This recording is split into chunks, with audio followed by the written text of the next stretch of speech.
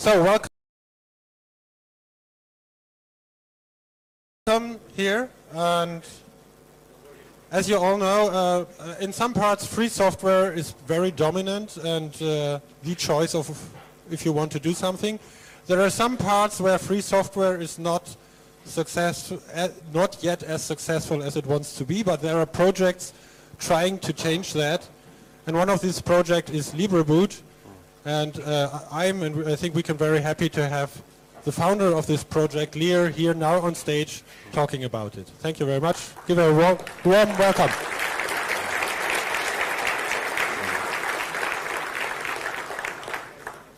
Okay, so as we've introduced, my name is Leah Rowe. I'm here to talk about a project called LibreBoots. I've been working on this project since, uh, since late 2013. What LibreBoot attempts to do is provides free software at the boot firmware level. So when people think about free software, they're usually thinking about their operating system. But the boot, the boot firmware is basically what initializes the hardware and starts usually a bootloader to load your operating system.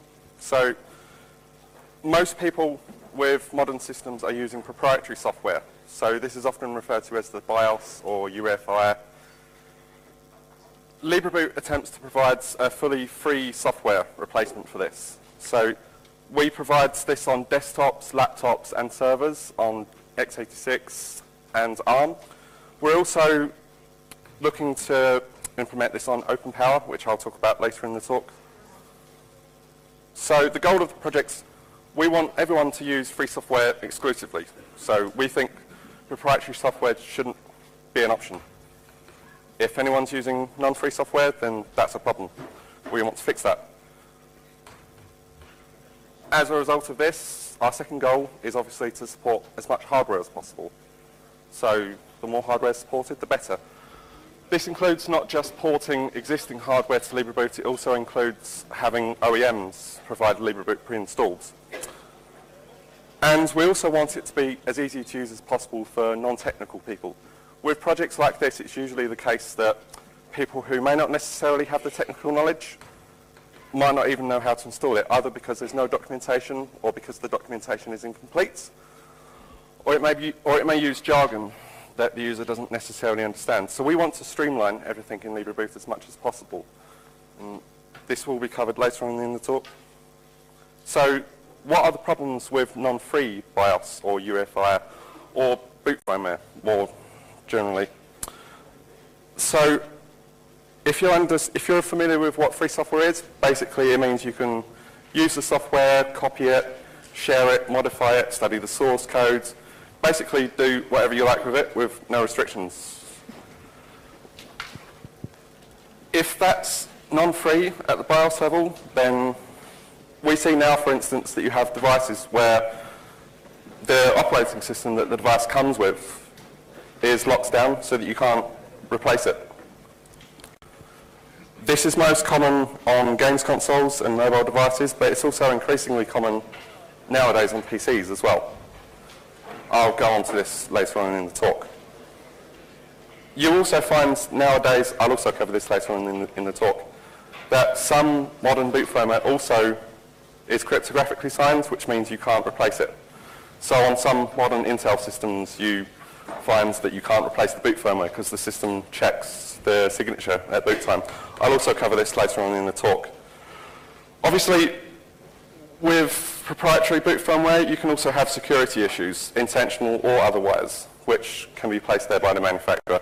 So, for instance, system management modes, you can implement rootkits there. Most modern Intel and AMD systems also come with a hypervisor called the Intel Management, the Intel Management Engine, or the AMD Platform Security Processor. I'll also cover these later on in, in the talk. If there are bugs, obviously all software has bugs. That's a problem if the software is proprietary and no one has the source code to actually learn how it works and make changes to it. So, and it's common to find issues on, with boot firmware on modern systems or any system. We want people to be able to fix issues that they may have. With proprietary software, this is not the case. So that's important. What's the point in using a system that's non-free? if you're going to use a free system and want to use all free software, but the boot firmware, the root of trust in your system is proprietary, then that's something that needs to be fixed. So I'll go through some brief history of the LibreBoot project. It started in December 2013. I was running a company at the time called Glug It's now called Minifree. I was selling the ThinkPad X60 with Coreboot pre-installed. The Free Software Foundation contacted me to tell me about their Respect Your Freedom certification program. What this was, or is rather, is a program where you, they certify devices that come exclusively with free software, but not just that. Also, devices that contain no known security issues, so no backdoors or anything like that. These systems at the time were the first systems that actually met this criteria. Everything, including the boot firmware, the operating system, the drivers, any software that you can think of in the system was free software, and this is what we worked with them on. The LibreBoot projects hadn't started at around this time when they contacted us. We had to work on some issues. So the Coreboot contains, I'll go in, into some details about the problems that we had in Coreboot, because that kind of goes hand in hand with this. So, yeah, so they contacted me because they wanted to endorse my company. So I started working with them on producing a completely blob-free version of Coreboot. A blob, by the way, is a piece of proprietary software, binary-only software. I worked with them on creating a product that was entirely free software, and from that, the LibreBoot project was formed. We also only supported one laptop at first, the ThinkPad X60, as I mentioned before. We later expanded to support more desktops, laptops and servers on multiple platforms, which I'll also cover later on in the, in the talk. I should also mention that for uh, brief periods, the LibreBoot project was actually part of GNU. So we joined, I contacted Mike Gerwitz, I don't know, I don't exactly know how to pronounce the name. Anyway, I worked with Mike eh, Mike Gerwitz in the GNU projects on making LibreBoot eligible to be added to GNU. So we had the same goals as the GNU projects, free software everywhere, bringing about a world where you can, any task that you can possibly think of could be done exclusively with free software. That's the goal, and that's our goal as well. So we were philosophically compatible, but there were some technical issues that we had to deal with. So for instance, the documentation, build system, and things like that trying to standardize it so that we used their build methods instead. That took about a year, and then on, finally on the May 14th, 2016, we officially joined the GNU project. Um, unfortunately, a few months later after that, on the 15th of September, we had already had some disagreements with the GNU project over technical issues and how, project, how the project should be run. Something controversial, I should say, happened at the FSF. You can read about this on the, the LibreBoot websites. They basically did something really nasty that we disagreed with entirely, so we just left GNU. Uh, you can actually go onto the link https libreboot.org slash GNU, and you can read information about that.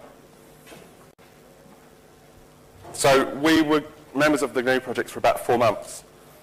It's really strange because when we left GNU, they actually resisted it. So we left GNU in September 2016, but the GNU project officially uh, officially recognized that in January this year.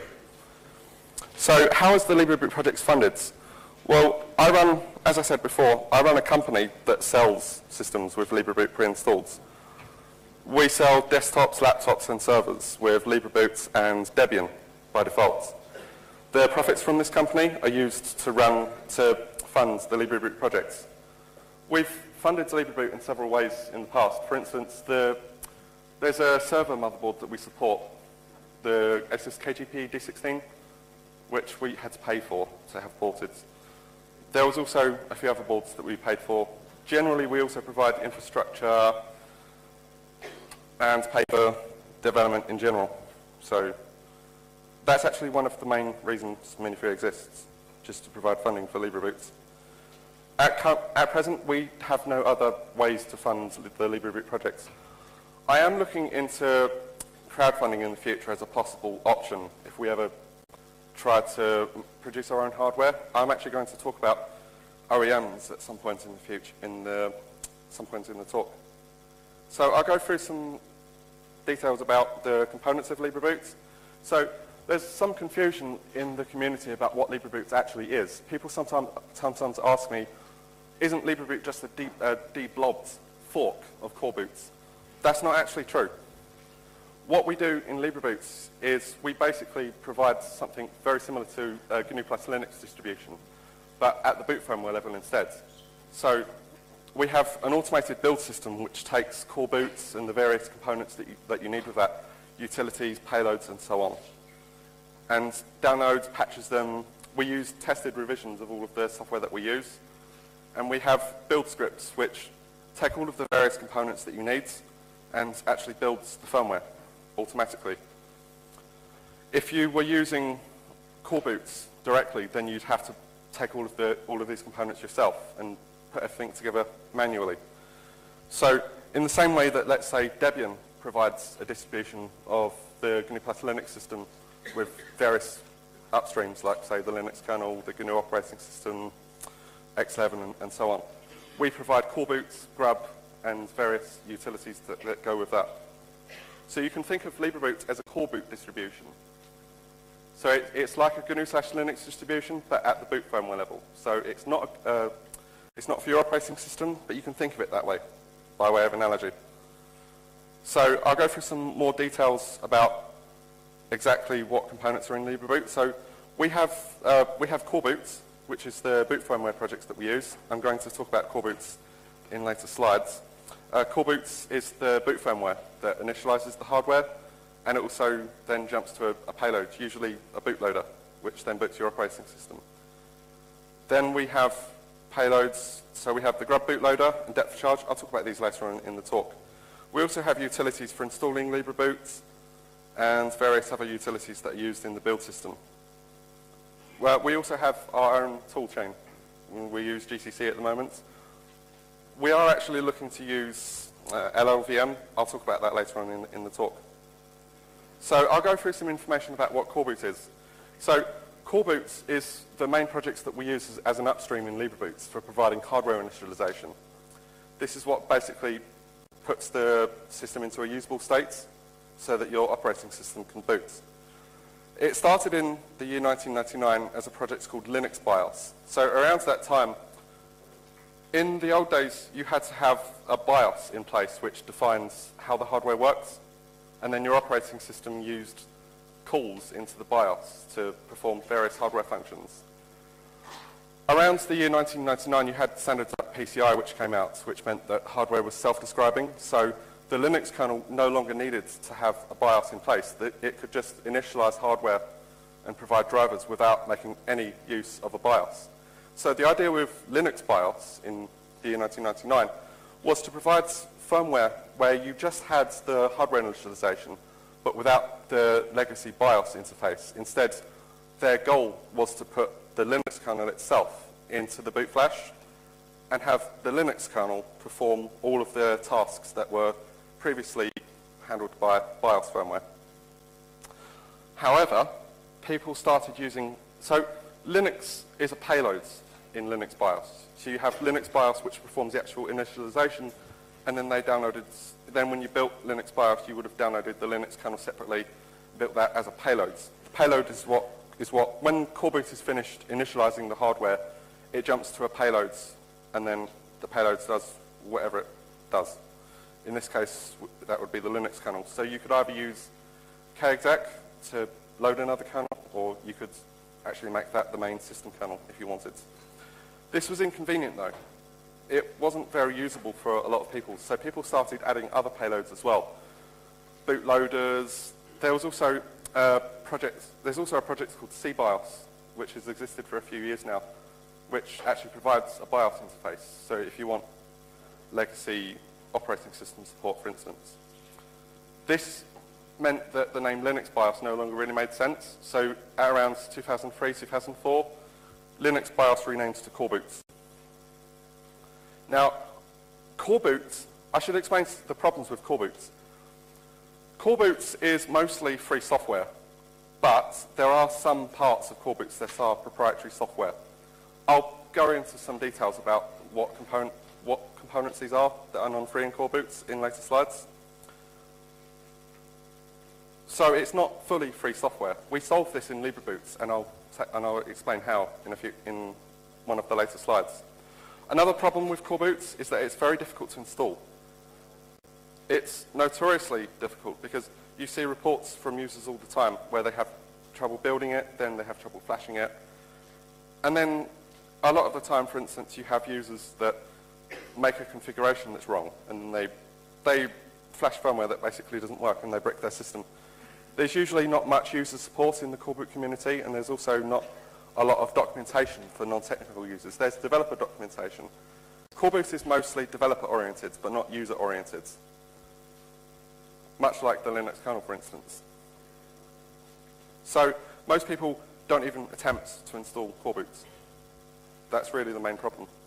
That and the fact that it's only partially free software. I already explained that LibreBoot is a fork of core boots. So a comparison would be, I, if you look at a GNU plus Linux distribution, that's a distribution for your operating system. They provide ISO images where you can install the system, and it comes with an interface that's easy to use, and they usually have community support in place for that, and plus documentation. LibreBoot is the same thing, essentially, but at the boot firmware level. So we provide ROM images, which, the, the term ROM image is a bit misleading because it's not actually ROM, it's, it's Flash, it's rewritable.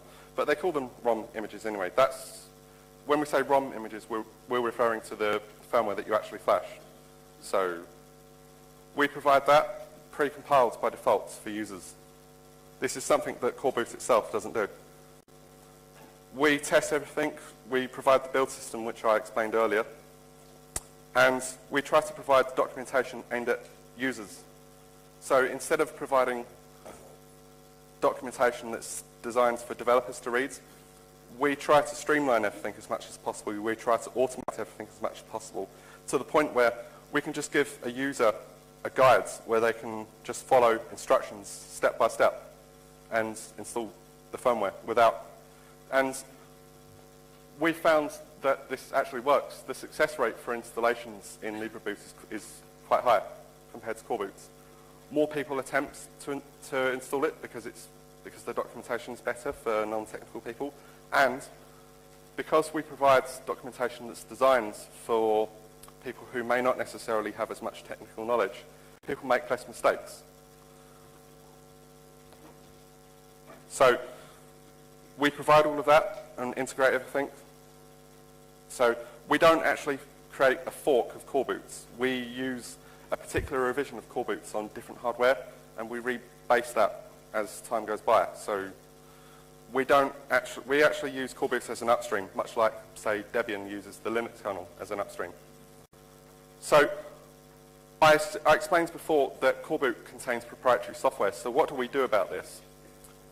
The first answer would be to fork Coreboots and provide a dblobs version of Coreboots, but that's not what we do in the LibreBoot project.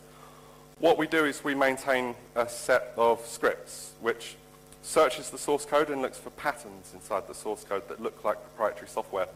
So if you actually look in the Coreboot source codes, you will actually find, say, a C source file that does something. But you look inside the file, and it will just be an array of bytes inside the file. It will be an executable. Or you might actually find binary blobs, like actual files in there. So we, so the script searches for blobs in the source code and then reports a list of, of search results. Now, not all of these are blobs. You do get false positives, so we have to go through the list and decide which ones are blobs and which ones are not. And then we maintain a list of files for the, of blobs in Coreboots for the deblob scripts to delete. Obviously, as a result of this, we support less hardware than Coreboots because blobs are needed on some systems in order to actually boot. So we just settle for lower hardware supports. We don't want people to use proprietary software. So in some cases, we just have to say, we can't support this system. Now, I should explain, there's a new project called LibreCore. which is a fork of Coreboot, unlike LibreBoot, which is a Coreboot distribution. LibreCore is not run, is not part of the LibreBoot projects, it's run by separate people. It started in, as a response to this problem in Coreboot. In recent years in Coreboot, it has been found that a lot of newer development goes into the proprietary systems from Intel and AMD.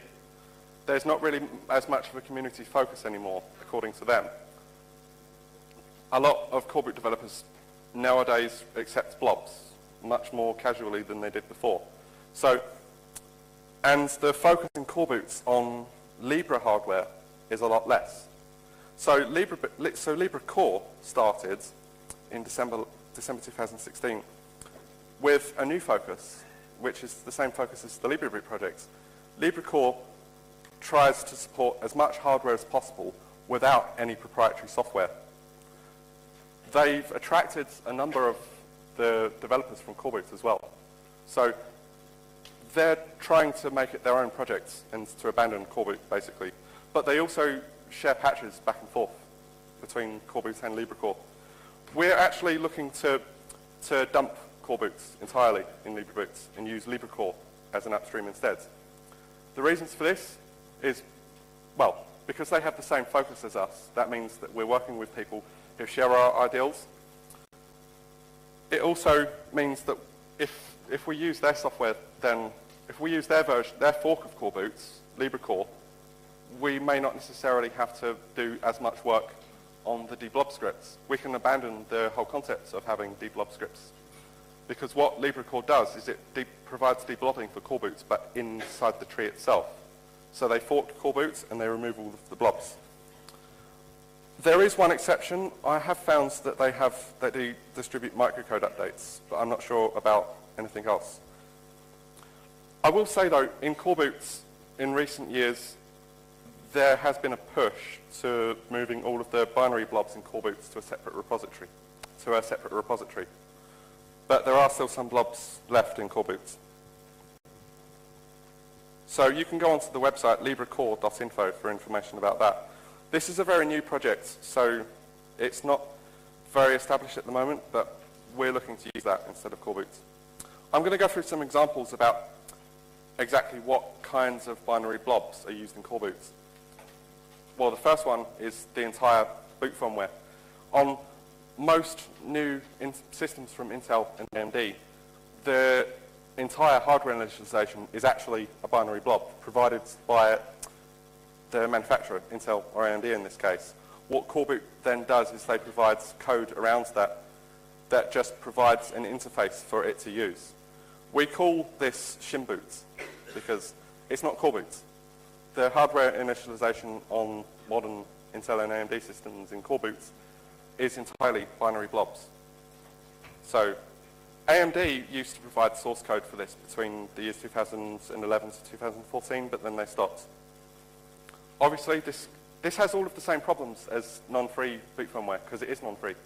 If you look at a standard proprietary BIOS firmware, or UEFI, on modern systems, shim boots, as we call it, is more or less the same. It has all of the same freedom issues, the same security issues, everything. We don't consider this core boots in LibreBoot projects. Another example of a binary blob typically found on most systems is called the video BIOS. So when you start your system, before your operating system boots in the early boot process, the video BIOS provides initialization so, you, so that you can have a display. It also provides some functions for the drivers to use in your operating system for whichever video hardware you have. We have free initialization. Now, Coreboot doesn't provide this itself because there are so many different graphics cards out there. When you use a system, it's common for people to use all different kinds of chipsets. Even if it's a laptop, you find different companies that provide different chipsets in their laptops. For instance, they might provide an NVIDIA chipset instead of Intel. So what Coreboot does is they don't provide the video BIOS themselves. You get that from the manufacturer and you put that in your Coreboot image. We use free video initialization in LibreBoot. In Coreboot, this is referred to as native graphics initialization. Some graphics chipsets don't actually need a video BIOS or any initialization firmware. So, for instance, on some NVIDIA chipsets and, some older Intel chipsets as well, you can use the video hardware without having any initialization firmware for it. The Linux kernel can initialize it on its own. But that's a rare exception. Another major blob that's found on a lot of Intel systems nowadays, well, all Intel systems actually, from the year 2007 and beyond, is called the Intel Management Engine. This is a separate computing platform, in, it's a separate system inside the system. It's embedded inside the Northbridge on older systems and in the, in the platform control hub on newer systems. It has its own access to memory, to the main system memory, through what's called a DMA engine. It has its own networking. It provides various extensions. One of the main extensions that the management engine provides is called AMT, or Active Management Technology. This provides remote access features for you to make configuration changes, independently of whether an operating system is even running. It's typically done through a web, a web interface. AMT is typically used in corporate environments. The thing is, though, that's actually verified to be insecure. We had a theory that this could potentially be a backdoor. And it's true. So on a lot, on some Intel systems, for instance, the web interface that, that AMT uses was found to have bugs in its TLS engine, uh, in, in its TLS implementation. So you could snoop traffic over the network, for instance. Anyone who has control over your system via AMT has absolute control over your system. If it has DMA, that also means, for instance, that it could leak encryption keys that are stored in memory. The management engine is cryptographically signed as well. When you boot the system, the system checks for the signature on that. If you make modifications to the management engine or remove it, your system won't boot. There are various extensions on top of the Intel Management Engine besides just AMT. One of them is called Intel Boot Guards, which on modern Intel systems prevents other boot firmware from being used. So if you wanted to install Coreboots or LibreBoots onto a system that has the Intel Boot Guards, you wouldn't be able to do it. The system would check the signature of the boot firmware that you're using and reject it. You can find more information about this on the libreboot.org slash FAQ. That's our FAQ section. There is an exception nowadays. Uh, this is also mentioned on the LibreBoot FAQ. Some, there was some, some research a while ago into remove... So on modern Intel systems, you can't remove the management engine and you can't modify any of it. But there was a workaround that, some, that people in the Coreboot project found for removing the networking features in the management engine. Removing, most, re removing all of the malicious features to the point where it's basically useless and doesn't do anything. We're considering whether to add some of these systems in LibreBoots.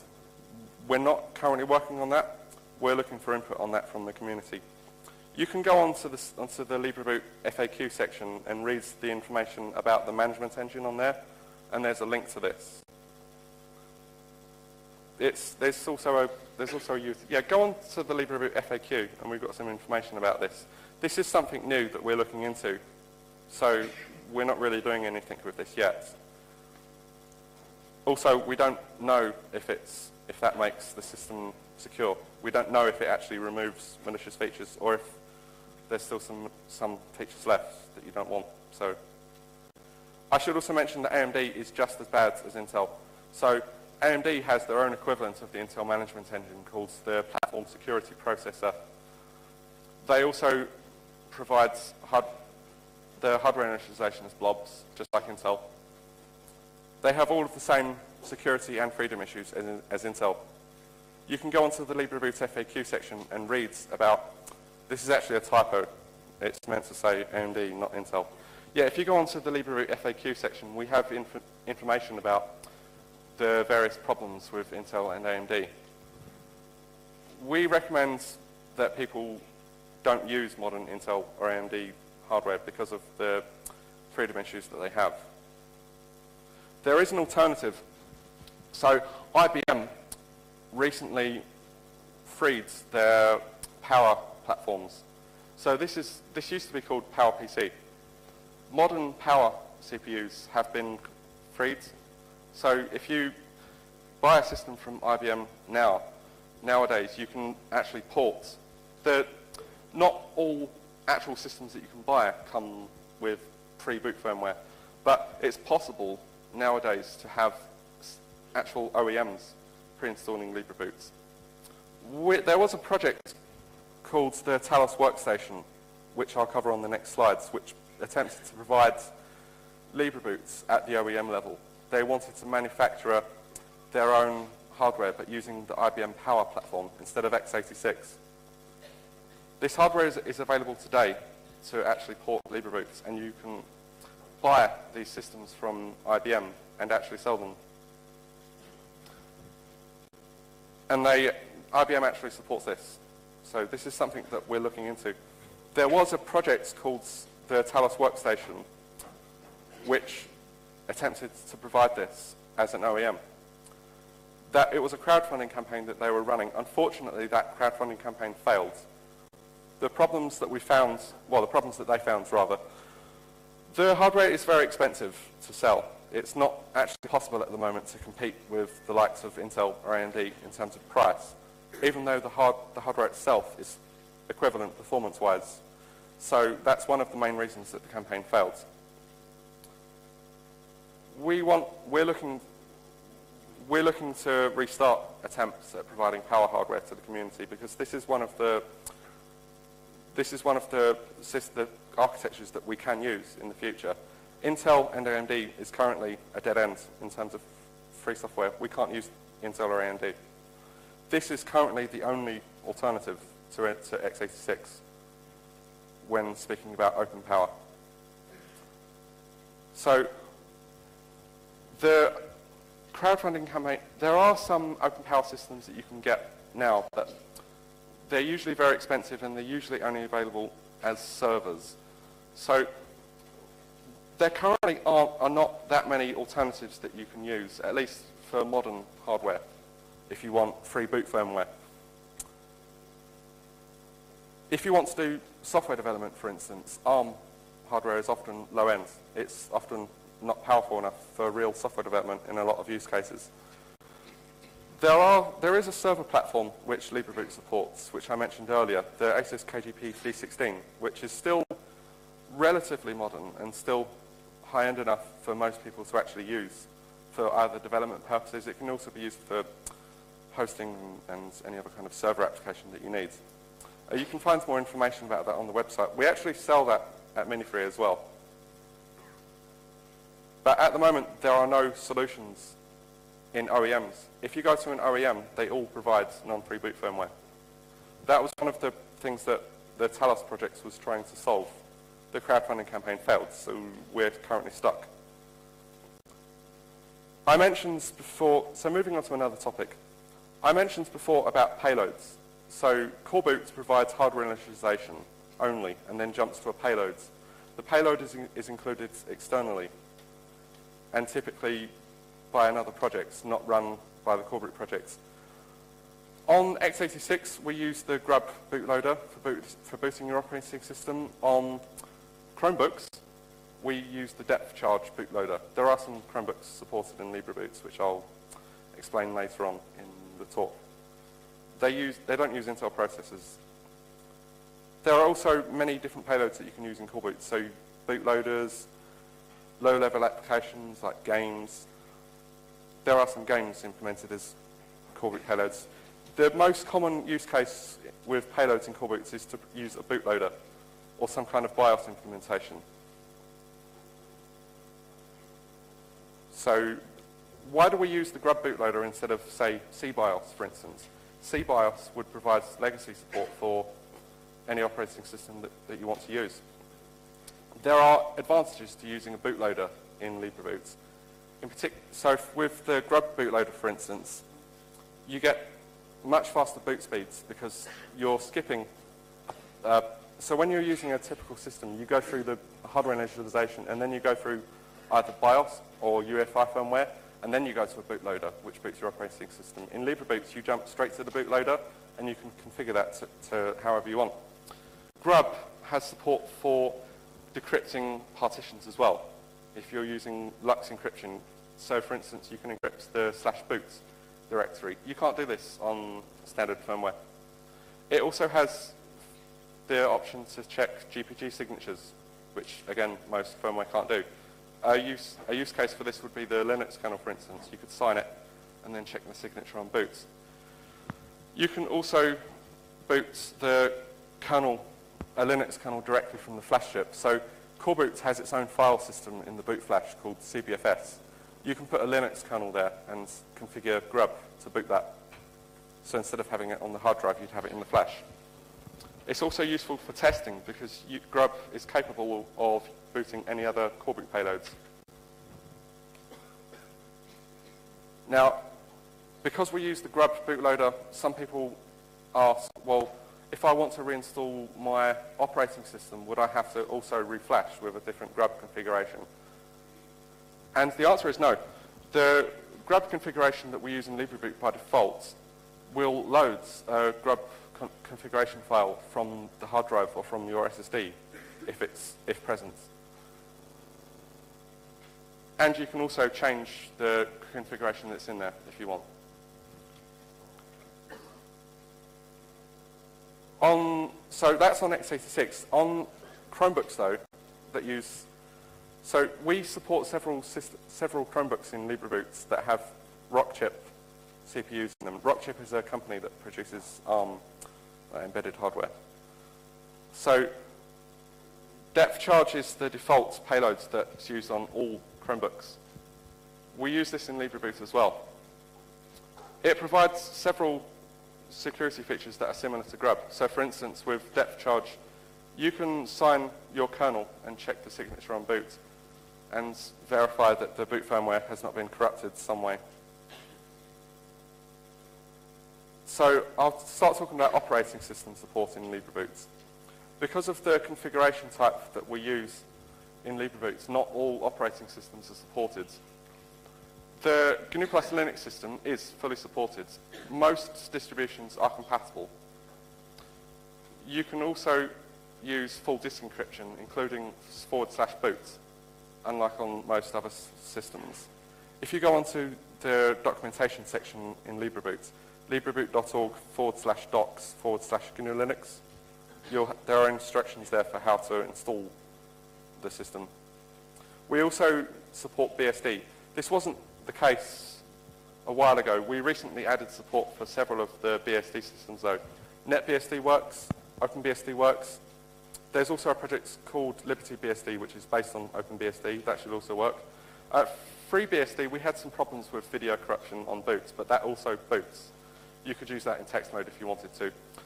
We have a section for that on the LibreBoot website. If you go to libreboot.org slash docs slash BSD, you can find instructions there for how to install BSD as well. Other operating systems? Well, there are other free operating systems besides just GNU plus Linux and BSD. We don't know if these are compatible. They're probably not, but we're not sure. So this would have to be tested.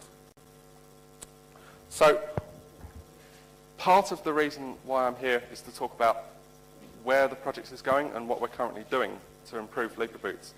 We did, the last release of LibreBoots was in September 2016, so the current release is about four months old now.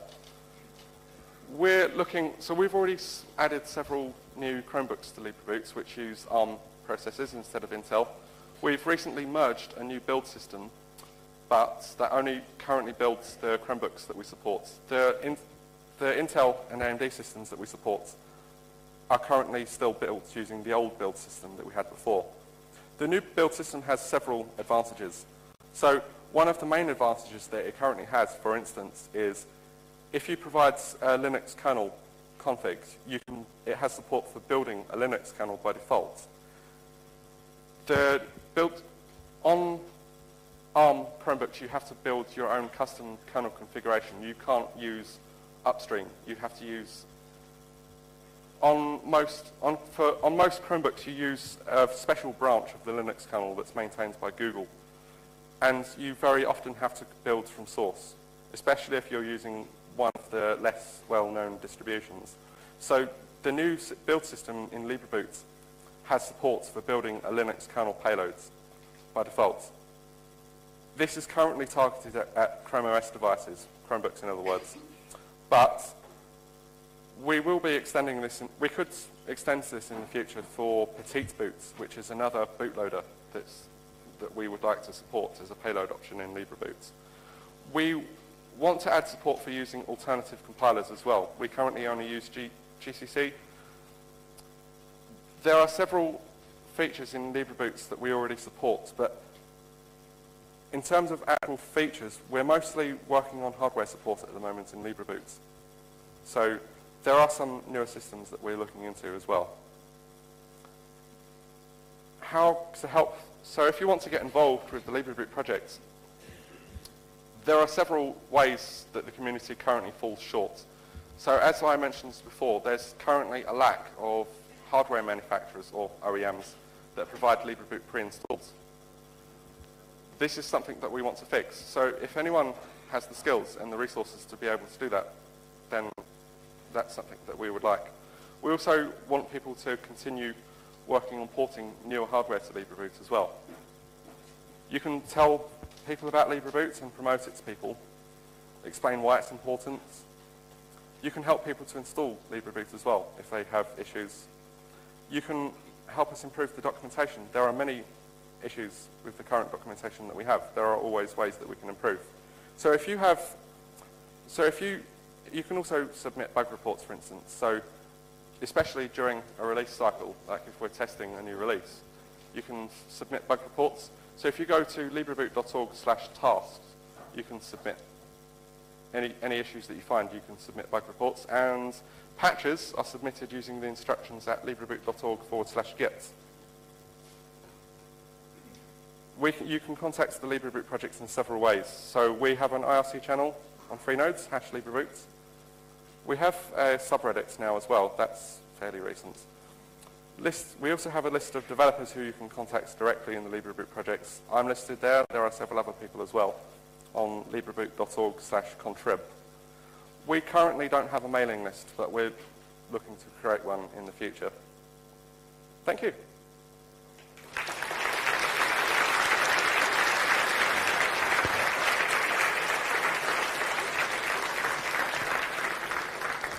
Are there any questions?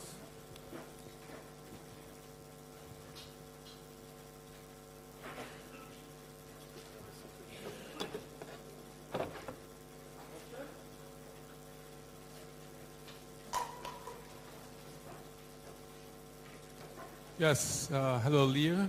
Uh, thank you very much for your project. Uh, I'm using LibreBoot for uh, some months. Here, here. Where, where are you? Oh, Yeah, sorry. excuse me. I should have made the sign. So my question is, um, do I have to fear legal issues if I apply LibreBoot on my uh, BS chip? I mean, uh, will I receive a uh, letter from an advocate from uh, Intel or or the mainboard uh, manufacturer? Uh, do you have any experience or, or things to tell about that? So I think the question was, are there any potential legal issues with using LibreBoot in, say, an organization? Um, not that I'm aware of. Um, if you're in the US, you may have problems with DMCA or something like that. But in Europe, I don't think this would be a problem. I've never heard of problems. There are institutions that use LibreBoot, and they haven't had problems. If there are potential issues, it's, it's just something that we'd have to come across as a community in the future. But at present, I'm unaware of any issues. Yeah, thank you. Maybe would you think that uh, this is related because, um, as far as I know, uh, LibreBoot often is uh, usable for kind of uh, older hardware. Maybe this is the, the reason why uh, there is not not any trouble to be expected. I don't understand the question. Could you rephrase? Maybe, yeah, Maybe, maybe, maybe you can discuss this later because here Yeah, are some more, discuss that. some Let's more people having that. questions. Are there any Thank more you so much. questions? Um, I'll talk. I'll talk to you outside if you want to ask, because this sounds like a very in-depth discussion. It's not something that re- can really be answered in half a minute. Any more questions? Um, yeah, so I was actually curious what it what does it take to I'm here Oh. uh, to uh, work on developing Coreboot because well I imagine you don't exactly flash uh, an actual hardware hardware uh, for every build you make when you uh, as a developer Um, not only because that would fry the chip the the, the, the flash chip pretty pretty quickly so do you have uh, is is do you, do you, run it on, a- on a VM or what, does it actually take? So I think the question was, what kind of mechanism do we have for testing hardware? What do we use for that? Do we have some kind of automated system in place? No. Actually, I mean just for developing because like when when you have when you program and then build the uh, the image, you don't actually run every Oh, right, iteration yeah. on the actual hardware, do you? No, we, t- we typically test before there's a new release. We don't typically test every image that's built because otherwise testing would take too much time. Um, so we typically just make sure that the software builds. And if test, we test the firmware, but we test it usually in the run-up to a release and then fix any issues that are found. As for virtual machines, we don't typically use virtual machines in LibreBoots. We have to test on real hardware. I can't hear you. You don't have the mic. Yeah, maybe speak? maybe this is. It's it's like uh, one question per user. so please try please try to be short and specific, and otherwise you have to resort it later. Your question? Uh, hi. Um, I applaud your um, stance on removing blobs, uh, especially from the low-level uh, firmware on these boards. Uh, but I'm an electronic engineer and I design ASICs basically um, quite regularly. And any hardware that doesn't have um, any certain modern chip that doesn't have a blob interface to load microcode will generally have a, a mask ROM inside in a metallization layer that you can never change. And given that, I would rather have external blobs of microcode rather than a metallization layer with possible bugs in that I will have to throw the entire hardware away. Now, what I'm also saying is, is there a project in LibreBoot to reverse engineer those blobs and replace them with open microcode? Uh, where are you? I could, hold on, hold. Um, so the question was, I think, about Are you going microcode blobs. You, you- your you argument, reverse them, basically? you were arguing the case for. So you said that there's already microcode built into the CPU, and the updates, although although technically binary blobs, are not provided in LibreBoot. So were you asking about I- about our opinion on including updates? I'm not sure. Yeah, basically, uh, what I was saying was that I, I applaud the, uh, the very purist view Yeah, of not so- having them, but the idea of reversing the updates. uh, Yeah, this is actually this is actually up, up for debate in the LibreBoot projects because the the microcodes for the CPU is already already comes built in, and then manufacturers typically provide volatile updates at boots, which you have to apply at every boot. So if you provide microcode updates, you're still, if you exclude microcode updates, you're still using microcode that's built into the CPU. You're just using microcode that's older, and, and it just happens to be inside a mask ROM, so it's not updatable. So, yeah, so if you're using the microcode that's built into the CPU, you could have potential issues in terms of security and, and so on. Intel and AMD also maintains a list of bugs for every CPU generation that they have. You can search for the errata for each CPU model and find out exactly which, which different microcode update revisions fix which bug. Um, yeah, this is currently up for debate in the LibreBoot projects. We currently exclude, our policy is to currently exclude microcode updates, but there are a, si- a sizable number in the community, of people in the community that would argue the case for having microcode updates included, because even if you exclude them, you're still running the same microcode, just an older revision anyway. So I don't know how to answer your question at the moment. This is not something that I should answer myself unilaterally. This is something that we should have as a debate within the community. Any more questions? So one last question. Thank you for the talk. Um, You're welcome. have you ever contacted uh, blob developers, uh, and uh, if so, have you ever succeeded in getting technical information in order to rewrite it in a, you know, understandable manner, and, you know, to remove it, re-implement it? No. So the question was, do we have contacts with manufacturers to, to potentially have specifications released so that we could poten- potentially work on reverse engineering and implementing Libra firmware? Is that the question? Uh, we've had some talks, we've attempted this in the past, but they usually don't work with smaller projects like ours. Most of the hardware manufacturers, including the big ones like Intel and AMD, are mostly uncooperative. So we haven't had any success with that.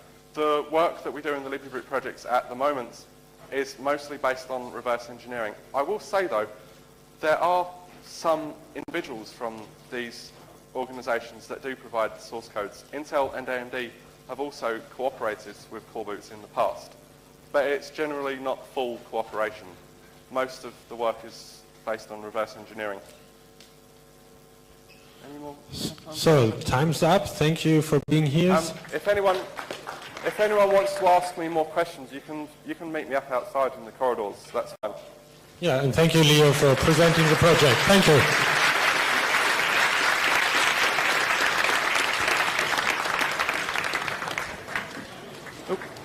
Don't forget, I mustn't forget my laptop. I want to take this with me. Oh, yeah.